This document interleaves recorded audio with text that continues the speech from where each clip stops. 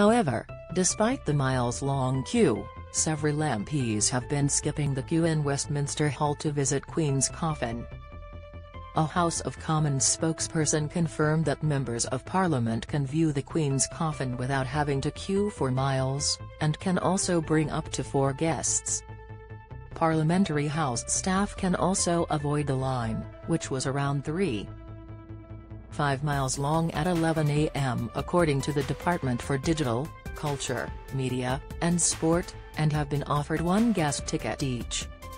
Criticizing the act, journalist Dominique Samuels told GB News, I think it's completely wrong thing to do.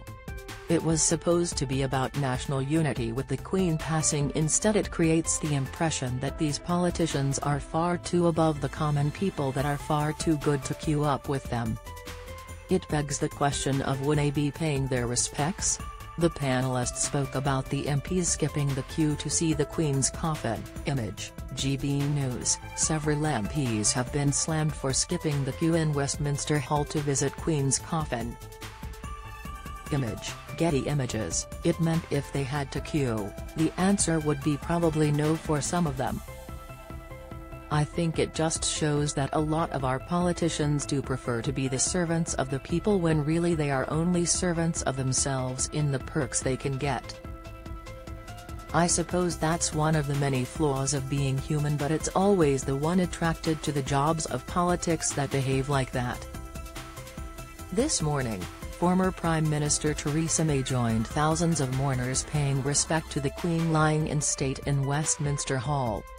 Read more, emergency services rush to reports of city centre building collapse Labour's deputy leader Angela Rayner was another MP who took advantage of the opportunity to dodge the queue on Thursday surely this one of those moments when the politicians should be with the public.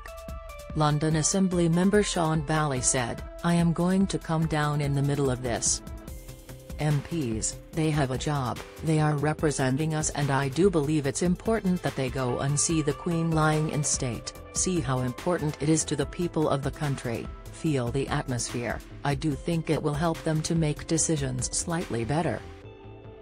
I think MPs miss out an important thing if they are not in the queue because by standing in the queue you get a range of beliefs, a range of ideas, and an opportunity to interface in the public in a unique and historic way that won't happen again.